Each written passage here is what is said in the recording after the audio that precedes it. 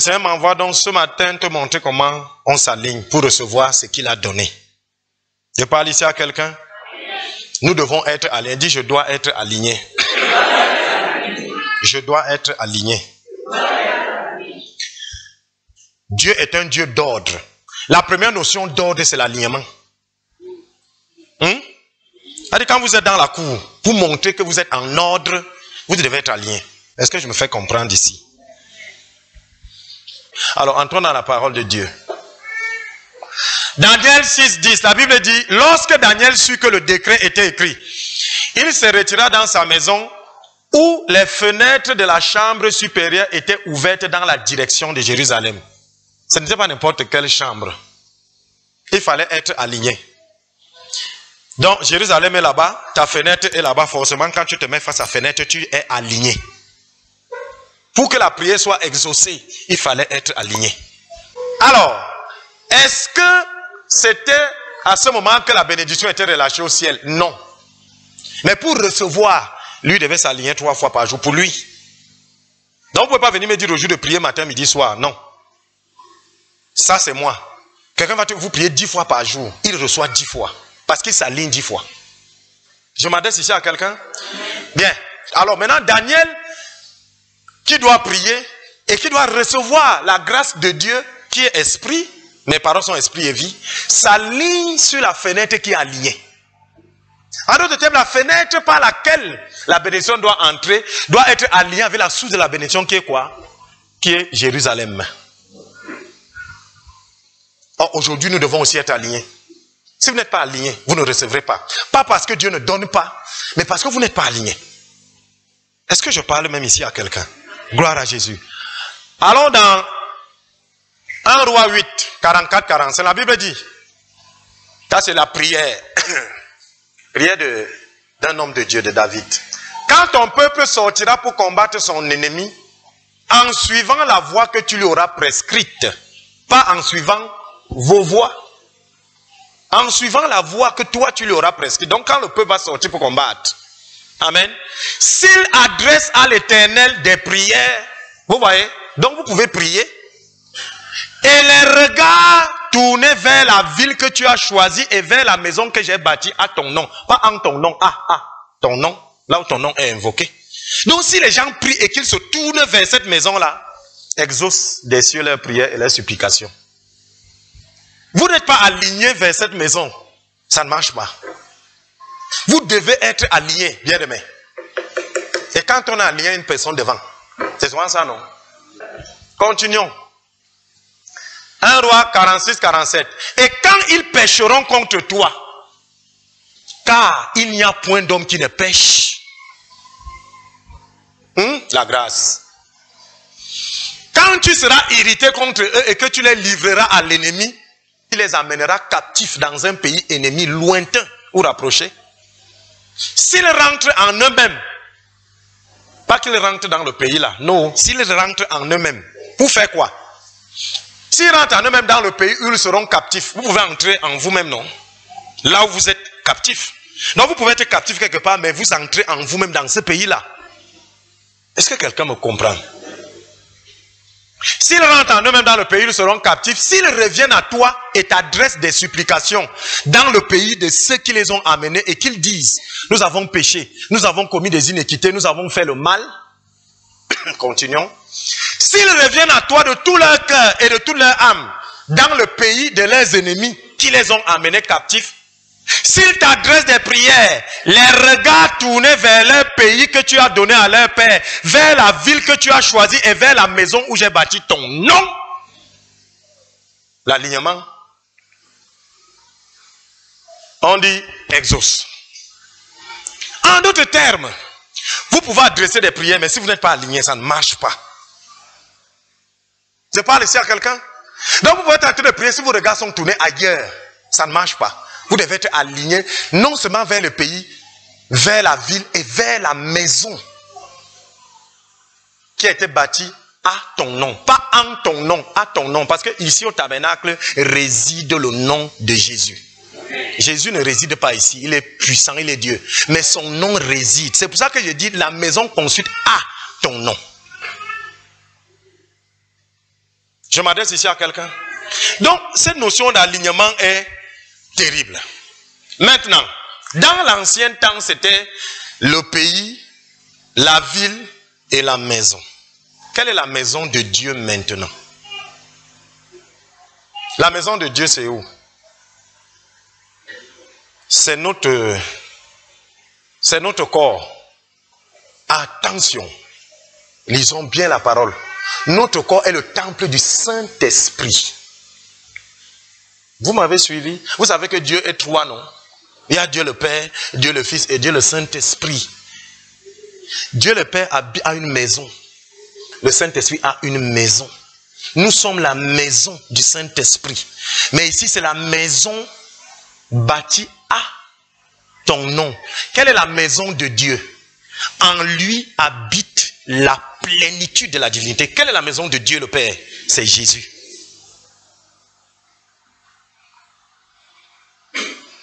Que je m'adresse même ici à quelqu'un Alléluia. Parce qu'il faut voir ces petites nuances. C'est important dans ta prière. C'est pourquoi tu pries, il n'y a pas de résultat. Tu n'es pas aligné. Alléluia. Prenons Jean 19, je suis la porte. Qui dit comme ça? C'est Jésus. Bien aimé, venez peu entrer dans une maison en désordre devant une porte. Vous allez me dire, si vous ne vous alignez pas pour entrer sur la porte. Vous savez, c'est tellement, c'est tellement naturel qu'on néglige. Comme Jésus est aligné à Dieu, il te dit, je suis la porte. Viens seulement devant la porte, tu es aligné à Dieu. Est-ce que je parle même ici à quelqu'un? Gloire. Donc, l'alignement. Pourquoi? Vous allez comprendre. Dieu dit que la prière du pécheur est une abomination. Or, ce n'est pas parce que nous sommes en Christ que nous ne péchons pas. Nous péchons, mais le sang de Jésus nous lave. Donc si Dieu écoutait nos prières si, il nous détruirait. Maintenant, il y a quelqu'un qui est venu vous montrer la route par laquelle vous devez passer pour que Dieu vous écoute. C'est la porte. Et il dit, je suis la porte. Si vous ne vous alignez pas dans cette porte-là, ce sera grave pour vous. Si quelqu'un entre par moi, il sera sauvé. Il entrera et il sortira et il trouvera des pâturages. Je m'adresse ici à quelqu'un. Je dis, Jésus est la porte. Répète, Jésus est la porte. Jésus est la porte. Gloire. Allons dans Jean 14, 6. Jésus lui dit, je suis le chemin, la vérité et la vie. Nul ne vient au Père que par moi.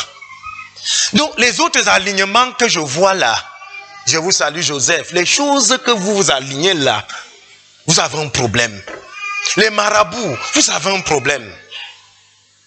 C'est comme je dis toujours, on t'amène, on te porte plainte à la brigade, tu viens prier, Dieu qu'il touche le cœur du commandant. Donc Jésus vient s'aligner derrière la volonté d'un homme. Dis-toi même là, tu as assis la erreur.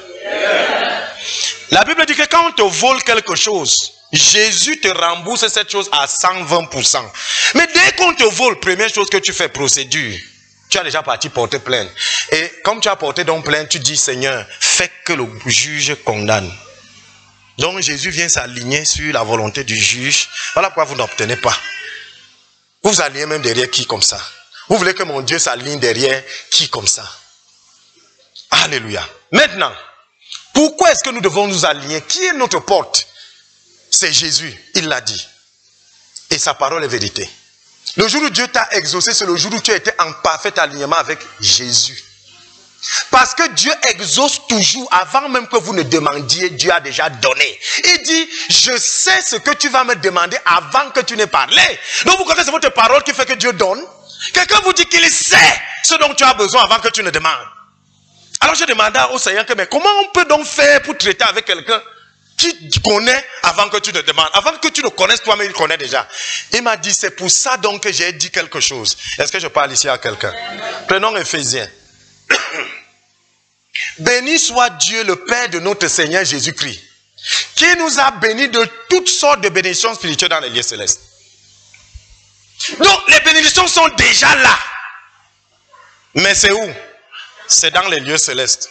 Ça ne concerne plus Dieu, c'est déjà donné. Maintenant, il suffit de faire quoi? De les prendre. Voilà comment est-ce qu'on prie quelqu'un qui a déjà tout donné. En fait, tu peux apprendre. En d'autres termes, quand vous entrez pour prier, vous ne partez pas demander. Non, vous partez prendre. Or, pour prendre, vous devez être aligné avec celui qui a déjà demandé depuis. Hein? C'est de ça qu'il est question. Bien. Il y a une parole qui m'a, où le Seigneur m'a amené. Tel il est dans 1 Jean 4, 17, tel il est, tel nous sommes aussi dans ce monde. Alors, quand je passe là, le Seigneur me dit, dans ce monde-ci, c'est là où se trouve ce secret. Tel il est, tel nous sommes aussi dans ce monde. C'est en cela que l'amour est parfait en nous, afin que nous ayons de l'assurance au jour du jugement. Maintenant, j'ai une question que je vais vous poser. Vous croyez que qui a le pouvoir de prendre ce qui a été donné dans le ciel pour amener sur la terre C'est qui? On a un gros problème. Justement, vous n'avez pas bien répondu. Il est au ciel où toutes les bénédictions ont déjà été données. C'est à cause de lui que tout a été donné au ciel. Qui est chargé de prendre maintenant du ciel où il est pour amener sur la terre? C'est vous. Parce que tel il est, tel nous sommes dans ce monde. En d'autres termes, il a reçu les bénédictions dans le ciel. Nous prenons les bénédictions du ciel dans ce monde. Hein? Ok. On dit, ils imposeront les mots malades et les malades seront guéris. Ils, c'est qui? Ceux qui auront cru. Les malades, c'est qui?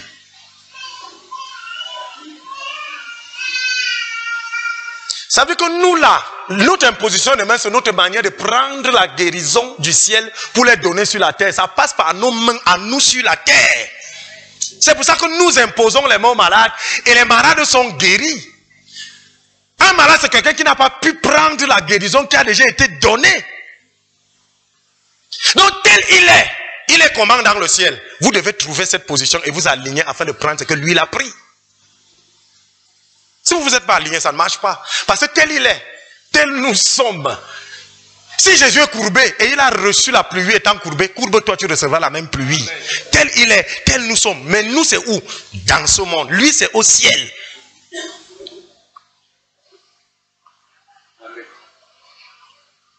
Est-ce que je m'adresse ici à quelqu'un? Donc quand vous entrez dans la chambre haute pour prier, vous partez chercher à vous aligner simplement afin de recevoir ce qu'il a reçu pour vous. Parce que ce n'est pas quand vous demandez que Dieu exauce. Dieu a déjà exaucé depuis. C'est pour ça que Jésus a dit sur la croix, tout est accompli. Maintenant, comment recevoir L'alignement? Donc un chrétien ne doit pas dire Seigneur, guéris-moi. C'est une mauvaise prière. Dit, tu es déjà guéri. Parce que par ce meurtrissure, tu es guéri. Maintenant, comment prendre la guérison du ciel pour amener sur la terre? Il te dit que ce n'est pas ce meurtrissure que tu dois prendre ça. Dans ce cas, ce n'est pas ce meurtrissure. Dans un autre cas, vous versez l'huile. Que les anciens viennent et qu'ils versent l'huile. Cette tu la prends du ciel, amène sur la terre. Donc, Jésus indique notre façon de marcher sur la terre. Parce que été donné dans le ciel. Jésus a fait le travail pour que le ciel soit assaini. Maintenant, sur la terre, c'est à toi. La nature attend avec un ardent désir la révélation des fils de Dieu. L'un de vous est-il malade qu'il appelle les anciens? Vous, c'est mis Chrétien. L'un de vous est-il malade? Vous, vous qui suivez Jésus. Appelez les anciens. Je ne peux pas être l'ancien d'un païen anciens d'église, l'église, les anciens du corps de Christ, c'est eux qui guérissent les chrétiens par l'huile. Parce que l'huile, c'est le symbole du Saint-Esprit qui descend et qui te guérit. Ça, c'est réservé aux chrétiens. Ils imposeront les mains aux malades, les malades seront guéris, tout le monde, chrétiens et païens. Imposition des mains. Maintenant, par ce meurtrissure, vous êtes guéris.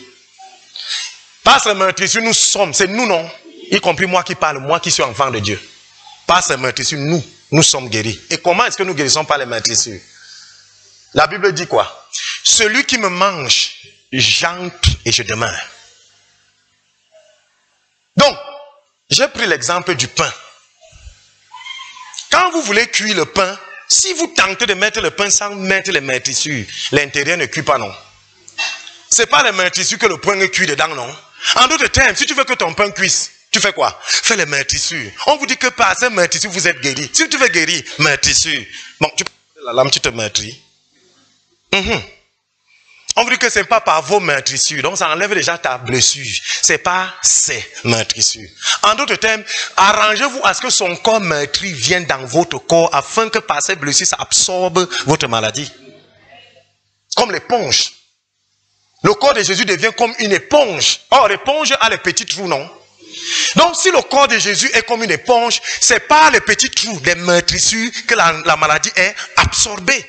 Et comment faire donc pour que ce Jésus-là entre dans ton corps? Celui qui me mange, je demeure. Prends la Sainte Sainte. Donc, ce que Jésus a obtenu dans les lieux célestes, nous avons la charge de les amener dans les lieux terrestres. Je reprends. Ce que Jésus a obtenu dans les lieux célestes, nous autres, nous avons la charge de les amener dans les lieux terrestres. Vous parlez de guérison. Jésus guérit et sauve. Montrez-nous ça. La Bible dit qu'il confirmait sa parole par les signes. Est-ce que quand toi tu prêches, il y a les signes là? Alléluia. Allons dans Matthieu 10, 25. Il suffit aux disciples d'être traités comme son maître. Vous n'allez, c'est-à-dire, vous voulez, il suffit que vous soyez comme votre maître. Votre maître est comment? En ce moment, dans le problème où tu as là, lui, il est comment? Il suffit d'être traité comme lui. C'est un ordre que Dieu donne aux anges. Il suffit aux disciples d'être traités comme son maître. Là, le maître, c'est qui? C'est Jésus. Lui, il est traité comment? Soyez comme il est, vous obtiendrez la pleine puissance de ce que Dieu, ce que Dieu donne. La sûreté, notre sûreté, c'est Jésus. Notre, c'est pas trop quoi, notre exemple, c'est Jésus. Si Jésus se couche, couche-toi. Il s'assied, assieds-toi. Il se lève, lève-toi. C'est ce que le peuple de Dieu a fait au, désert. Quand la boule de feu s'arrêtait, mais il s'arrêtait, ils étaient alignés à la boule de feu. Je m'adresse ici à quelqu'un, non? Donc, la Bible dit que Jésus prie nuit et jour. En d'autres termes, lui, il est devant Dieu, nuit et jour. Maintenant, si toi, tu veux recevoir ce que lui, il reçoit, Jésus, tous les prières de Jésus ont été exaucés. Maintenant, la chose que tu demandes, tu sais qu'on va te donner ça en combien de temps? C'est pour ça qu'on n'imite pas dans l'affaire ici. Quand nous partons au puits, toi qui as le seau de 15 litres, tu ne peux pas faire le même temps pour remplir avec le seau de 200 litres. Donc moi qui ai le seau de 15 litres, je vais seulement te dire, dit, donc va seulement faire 15 minutes. Toi tu fais 15 minutes. Ton seau n'est même pas rempli. Vous connaissez que quand un seau n'est pas plein, c'est même dangereux, non? Ça fait tomber, non? Donc dans l'affaire là, c'est une relation personnelle. C'est vous. En d'autres termes, Jésus est aligné devant Dieu. Il prie nuit et jour. Donc vous, pour recevoir ce que lui, il a reçu dans le ciel, mettez-vous, parce qu'il est comment? Il est devant Dieu, il prie nuit et jour. Tel il est donc tel moi je suis sur la terre. Je veux recevoir ce que lui est en train de recevoir, je m'aligne. Et sa position c'est quoi? Il est en train de prier. Donc, c'est parce qu'il prie qu'il y a la guérison. C'est parce qu'il prie qu'il est exaucé. Dans les 10 minutes que tu peux prendre pour prier, tu es aligné, tu es aussi exaucé de 10 minutes. C'est pas une prescription comme la, la pharmacie. C'est pour ça que c'est une vie. D'autres gens font 25 ans pour obtenir un duplex. Toi, tu peux faire 15 minutes. Ça dépend de ton alignement. Vous comprenez? Alignez-vous. Dis, je m'aligne. Je m'aligne. Prenons Romains 8, 34. On dit, qui les condamnera? Ceux qui connaissent les enfants de Dieu, ceux qui sont enfants de Dieu, qui les condamnera? On m'a déjà dit dans mon village que qui te condamne là? Vous voyez? Qui les condamnera? Christ est mort. Voilà la raison pour laquelle on ne peut pas te condamner. Vous voyez que c'est de Jésus qu'il s'agit ici. Ce n'est pas de toi. Ni tes clignotants, tes phares et tout, et tout. Il n'y a pas rien, rien là. Qui va te condamner? Non, c'est que je reconnais quand même que j'ai un peu fait du mal. Bon, maintenant, toi-même tu te condamnes. Le qui l'a tué dedans? La Bible dit que maudit soit celui qui accuse un innocent. Jésus t'a innocenté, même si toi tu es coupable, bien aimé, tu es maudit à cause de toi-même. La culpabilité. Qui les condamnera? Christ est mort. Bien plus, bien plus. C'est-à-dire que non seulement il est mort, bien plus il est ressuscité. des vivants. Il est où? À la droite de Dieu et il intercède pour nous. Oh, tu, me condamnes Il est mort. Tu doutes Bien plus, actuellement, il est assis, il intercède. Il intercède pour moi. Et quand il intercède, c'est pour recevoir quoi? L'exaucement. Jésus est exaucé chaque jour, à chaque minute, à chaque seconde. Jésus est exaucé. Comme donc, il prie. Matin, midi, soir, ce n'est pas pour dire que pour être exaucé, tu pries aussi matin, midi, soir. Non. En d'autres termes, nous sommes des millions. Pour que nous soyons satisfaits, nous tous, chacun en son heure, c'est comme s'il est obligé de prier tout le temps pour que toi, midi, tu pars, c'est bon. L'autre 15 heures, il part, c'est bon. L'autre 20 heures, il part, c'est bon. Allez-toi.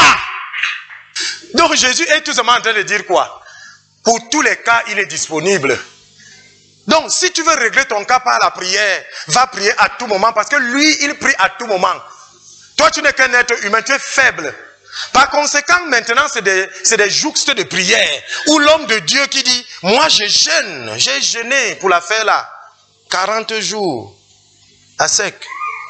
Donc quand il dit à sec, tu vois comment nous on est étonnés. Et Jésus dit quoi? Tu as déjà reçu ton salaire. Pourquoi? Parce que quand nous prions, nous cherchons quoi? Un salaire. Qui a travaillé?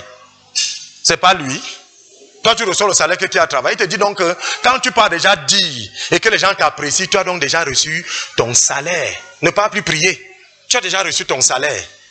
Or, le salaire, c'est après un travail. Donc, prier, c'est un travail. Voilà. Jésus a fait, on dit que le travail de son âme a satisfait le cœur de Dieu, le travail de son âme. Maintenant, nous venons faire quoi? Nous venons recevoir les salaires. Marc 16, 17, la Bible dit quelque chose. Le Seigneur, après leur avoir parlé, fut enlevé au ciel et il s'assit à la droite de Dieu. Il y a des situations où vous devez vous asseoir et laisser les choses passer. Parce que tel il est, tel nous sommes. Il y a une position de Jésus dans le ciel, il est assis. Bien aimé, assieds-toi un peu. Regardez, dès que vous avez un problème, première chose, vous vous levez. Regardez un peu, vous êtes couché. Oh, l'enfant a eu ceci, premier réflexe, c'est quoi? oh Yeshua. Vous voyez? Vous n'êtes pas aligné. Dans cette situation, j'ai prêché ici sur un message que chaque problème qui vous arrive en tant qu'enfant de Dieu, vous n'avez pas deux mètres de diamètre pour que la solution soit là. Vous saviez ça? Dès qu'un problème vous arrive, sachez que Dieu ne permettra pas qu'on vous éprouve au-delà de vos forces. En d'autres termes, Samsung est en train de marcher. Il arrive, les Philistins l'entourent. Il n'a rien. Mais couché à côté de lui, il y a un âne qui est mort, qui est pourri. Il a pris les os. Il les a finis avec les os de l'âne. Les os de l'âne mort. Moïse prend, il vient, il voit la mer rouge. Il dit à Dieu que je fais comment pour que les gens ne pas. Dieu lui dit que tu as même quoi en main Bien aimé, Dieu ne permettra pas, et ça c'est la foi, Dieu ne permettra pas que là où vous êtes, je parle du physique, je ne parle pas du spirit, de vos choses, de machin là. Là où vous êtes, si un problème vous arrive comme ça, la peau centrale, bam, sachez que, un, deux mètres autour, la solution est là. Alors je suis couché, donc tu es couché là, on vient t'annoncer que euh, tel problème est arrivé. Regardez seulement un peu là. S'il y a lui d'onction là, c'est ça. Mais s'il n'y a rien là, la position de Jésus, c'est quoi? Tu te lèves sur ton lit, tu t'assieds au bord, tu te détends. Parce que, on dit quoi? Après leur avoir parlé, fut enlevé et il s'assit. Tel il est, tel il est dans le ciel, sur la terre. Première position que je cherche, assis. Je m'assieds, je me détends et je reçois la délivrance. Vous savez que nous sommes des rois. Il est le roi des rois. Vous croyez qu'il est le roi de la reine d'Angleterre Qui vous a dit? Il a fait de nous un royaume. Donc nous sommes des rois et il est notre roi. C'est pour ça qu'on dit qu'il est le roi des rois. Or, quand un roi veut recevoir, il prend la position du trône. Il s'assied et il se met à recevoir. On amène les cadeaux, on amène les, les, allégeances. Les gens viennent se présenter. Il est assis sur le trône. Et je vais vous dire, au fur et à mesure que vous travaillez trop, ça veut dire que vous n'êtes pas puissant. Regardez un peu dans le monde. Il dit souvent aux gens que c'est les gens qui travaillent qui ne sont pas riches. Vous saviez ça? C'est bizarre. C'est bizarre. Même dans l'armée, l'armée alors c'est grave. C'est celui qui a le plus gros salaire, qui a la voiture de service, qui a l'exemption du courant, qui a, qui a. Hum. Un Tu payes le courant, non? Tu payes, non? Avec l'eau, non? Je paye, non? Toi et moi qui dépasse l'autre avec le salaire. Écoutez, ils n'ont pas pris ça loin. C'est biblique. Au fur et à mesure que vous êtes assis, vous êtes puissant. Au fur et à mesure que vous êtes assis, vous ordonnez. Mais quand vous travaillez, ça veut dire que vous avez un problème. Et travailler, ça ne veut pas dire ne pas aller au travail. Travailler veut dire qu'on te dit que ton enfant est malade. Il faut que je vois, j'appelle. Tu es déjà en train de travailler, Jésus s'assied. Ton enfant est malade, tu aurais pu dormir, non? Pourquoi est-ce que la nouvelle te parvient là? Tu as une action à faire. C'est de ne rien faire. Bien aimé, je scelle cette parole dans le sang de Jésus.